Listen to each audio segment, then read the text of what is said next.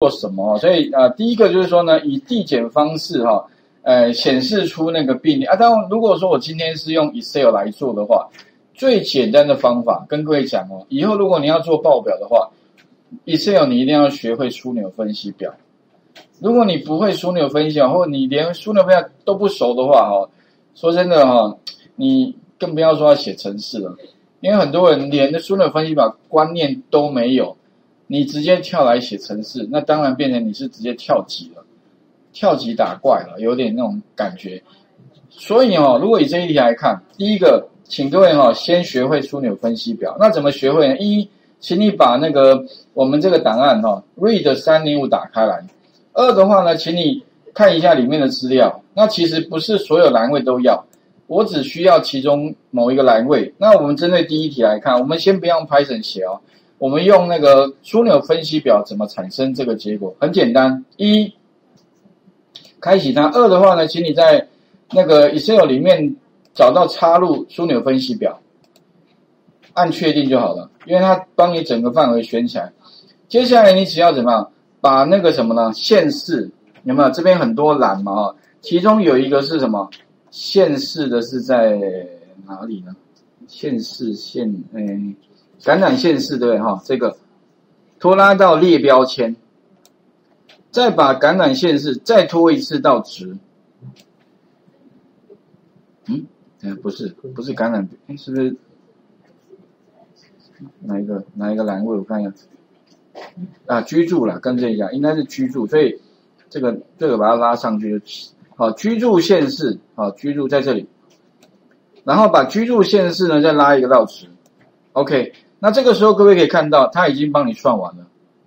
那其实大家讲讲一下啊，其实他到底做了什么事啊？居住县市，如果你把它放到列标签，他会帮你做什么？做 group by。group by 意思说哈，他会帮你移除重复。所以你会发现哦，这边列标签就是帮你移除掉重复的那些县市，因为里面有没有？它会非常多重复资料，像台台中市都有很多了，有没有？每一个每一个有没有？这边有很多。台中下一个也有台中，有没有？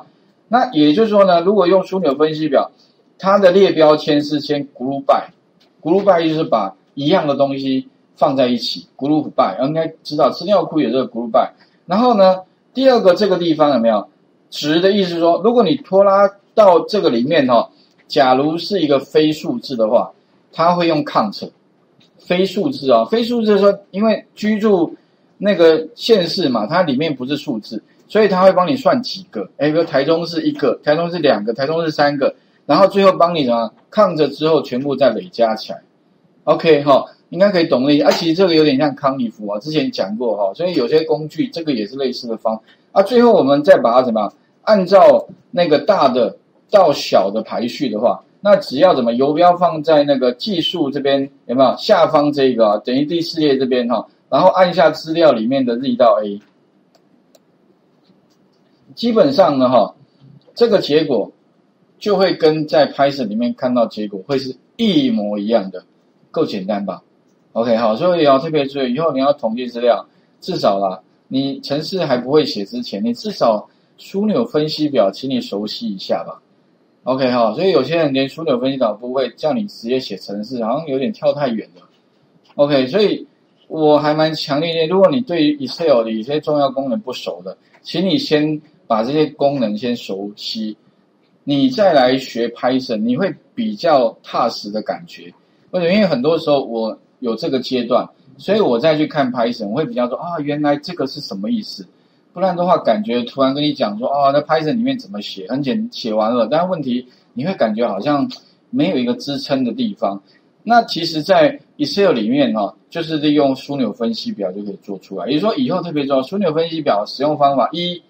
你一定要有一个 data，那这个 data 基本上它的结构一定就是一个资料库的正规化的资料库，所以上面一定栏位名称，里面的话呢哈，一定会有一个栏位是 key 的，好，然后呢底下的架构一定尽量就是不要怒哦，OK，好，然后如果你要用枢纽分析表的话很简单，就把居住县市放在列标签，再把居住县市拉到值里面，你就可以看到你要的结果。啊。那未来如果你要画画什么呢？再去画那个就是你的图的话，有没有？之前我们讲过啊，你输入分析图按下去，你可以马上产生什么直条图出来嘛？